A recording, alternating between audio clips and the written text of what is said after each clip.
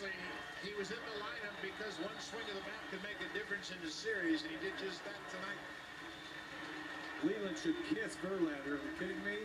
This guy has come up so big for that back-to-back. How about that tandem right